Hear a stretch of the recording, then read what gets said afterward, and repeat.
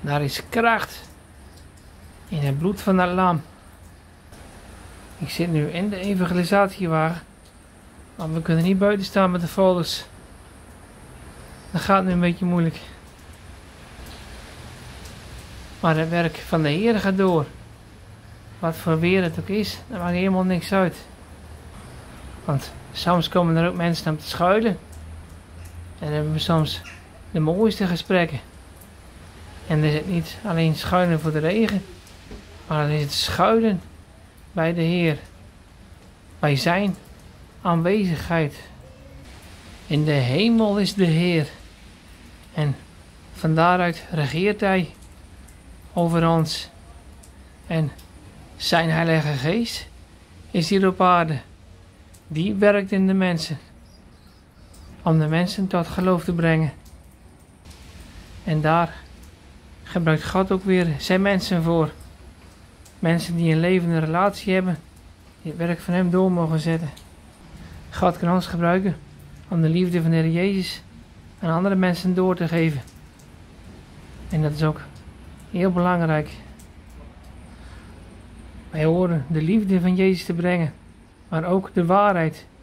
Want Jezus is de weg, de waarheid en het leven.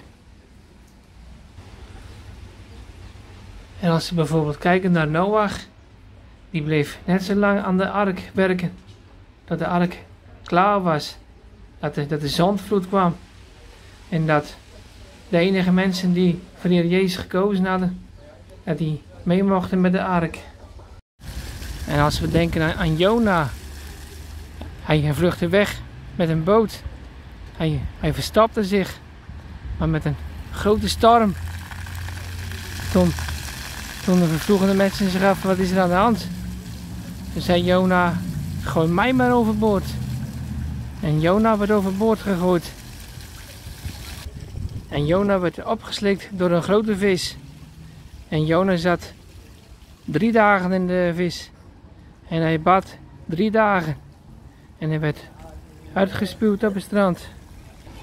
En toen moest hij alsnog naar Nineveh. Want God had een plan met Jona. Hij moest naar Nineveh. Om het ja, om te, om te prediken in de Nineveh. Dat ze tot bekering mag komen. En als ze niet tot bekering zouden komen, zou Nineveh omgekeerd worden. Dus er was toch een hele verantwoordelijkheid voor Jona. En daarom is het ook zo belangrijk om aan God te gehoorzamen. Als hij een levende relatie met, met ons heeft. En dat we zijn woord aan andere mensen door mogen brengen. Ik wens jullie allemaal een gezegende dag toe. En morgen een gezegende zondag.